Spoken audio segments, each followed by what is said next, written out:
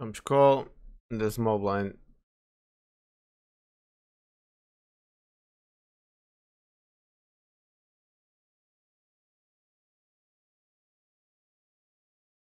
É, eu vou dar um check aqui. Estamos a bloquear as- os, os draws dele, portanto não penso que seja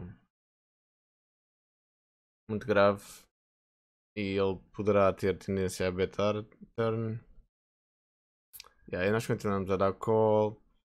E se yeah, o River não é mal todo, para o range da Small Blind, acho que ele vai ter pouco 7-8, mas poderá ainda ter, mas estamos mais no, no bluff catching ou no 10x catching. E ele tem às 10, como vem, fogo às vezes. Às vezes eu, eu penso que até percebo disto, mas depois, depois acho que não.